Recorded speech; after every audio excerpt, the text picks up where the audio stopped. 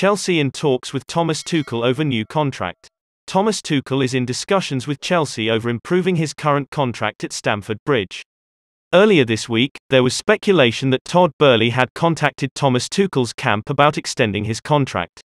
When he was appointed as Chelsea's manager in 2021, the German was given a relatively short contract which is set to expire in the summer of 2024. Since signing, Tuchel has won the Champions League, Super Cup and Club World Cup. The 48-year-old also weathered the storm during the transfer ban and Roman Abramovich situation, which eventually saw Boehly's consortium buy the club. Even since buying the club, the American owner has backed Tuchel and so far, they've had a fairly successful transfer window. Now, it is being reported by the reliable German journalist, Christian Falk, that Chelsea are indeed in negotiations with Tuchel over a new deal. This new deal has been coming for a long time now. Tuchel has got Chelsea back to a position where they can eventually start challenging for the Premier League title.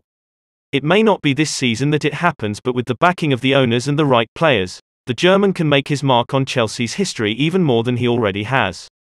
Hopefully this can be wrapped up sooner rather than later as it will help potential transfers in the future. Michy Batshuayi opens up about his game time at Chelsea. Chelsea's Michy Batshuayi has spoken about how hard it has been for him to break into the first team since joining. Ever since joining Chelsea from French side Marseille in 2016 for a reported fee of £35 million, Michy Batshuayi has failed to impress multiple managers. This has resulted in the Belgian forward being sent on loan five separate times over the years.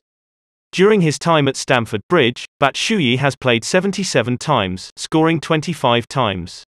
Not a bad record for someone who never really started. The 28-year-old's contract with the Blues ends at the end of next season. However, if recent reports are to be believed then he could depart early if the right club comes in for him this summer. In a recent interview with Sport Voteball, Batshuayi spoke about how difficult it has been for him and his countryman, Romelu Lukaku, to break into the Chelsea team. I cannot speak without knowing about Romelu, but for me it's very clear, the problem was Diego Costa. At that time, I think there was no player who could have dethroned him. In my second season, while I was having a great preseason, Morata arrived. So even there it was complicated. But after that, despite that, every time I came on I scored. In fact, it's quite strange to say, but the team was so strong that it was easy to score goals. When you play with certain players, everything becomes easy. Chelsea takes interest in Manchester United target Casemiro. Chelsea looks to steal yet another Manchester United target as Todd Boehly sets his eyes on five-time Champions League winner Casemiro. According to Tom Gott and Graham Bailey from 90 Minute Football, Chelsea has been a great admirer of the Brazilian defensive midfielder and would be interested in bringing him to Stamford Bridge. Reports also suggest that the Blues have been looking at Casemiro longer than fellow Premier League club Manchester United has been. The 30-year-old has been a key part of Real Madrid's success in recent years where he has won five Champions Leagues, three Spanish League titles, one Copa del Rey, two UEFA Super Cups, and three FIFA World Club Cups with the Spanish Giants. Real Madrid boss Carlo Ancelotti is desperate to keep the Brazilian midfielder due to the success of his midfield trio but if the Blues were to make an offer Casemiro would be valued at around £60 million. Chelsea is looking at another Manchester United target Frenkie de Jong, it is believed the Blues is the favourites now to sign the Dutch international. If De Jong decides to leave Barcelona this summer, the Dutchman will be looking for a club with Champions League football. This is something Chelsea can offer that Manchester United cannot. Chelsea open to Christian Pulisic loan. Christian Pulisic has been linked with a move away from London in the past and his club is reportedly more open to this move now. Throughout last season, Chelsea's forwards struggled to consistently score goals. Christian Pulisic fell into this category and could now be on his way out the door at Stamford Bridge in a bid to revitalise his club career. Along with various other reports, Ben Jacobs expanded on the American's future on Wednesday. He claims that the Blues are open to the forward departing on loan this summer, following reports regarding Manchester United's supposed interest. Jacobs has reportedly been told the USMNT manager Greg Berhalter has advised Pulisic that he should look to depart to get regular game time.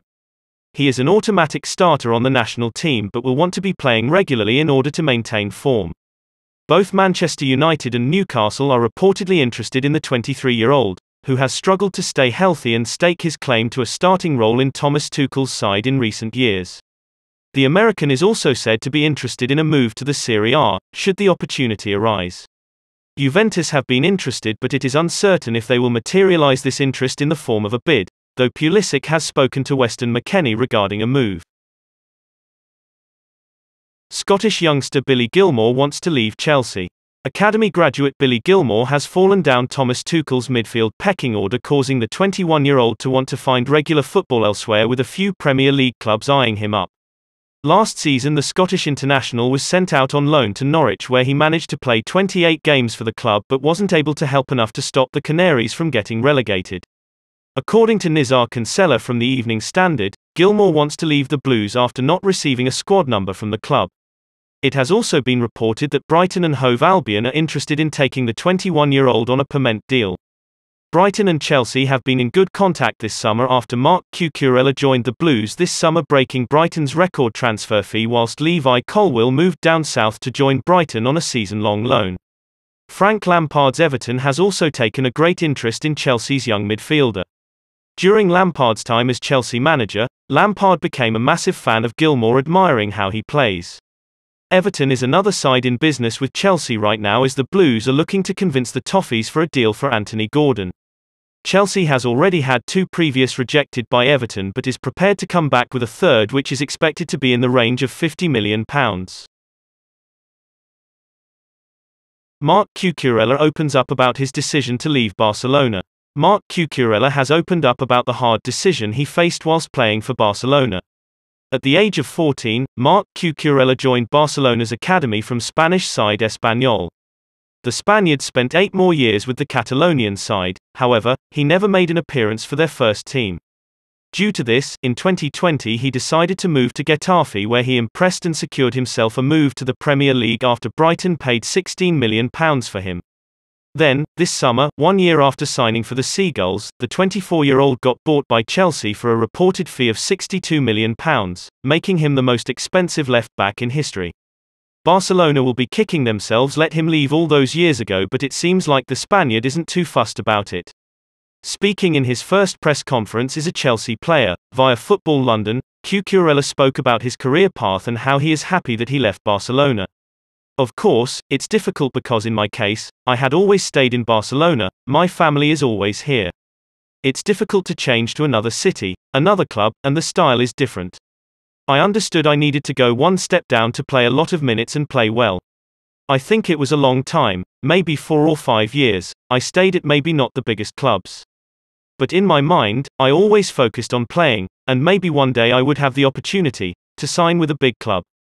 I think maybe one of the best decisions in my life was leaving Barcelona to join maybe smaller teams. They give me opportunities. Maybe if I didn't leave, I would have stayed on the bench for a long time and I never come here.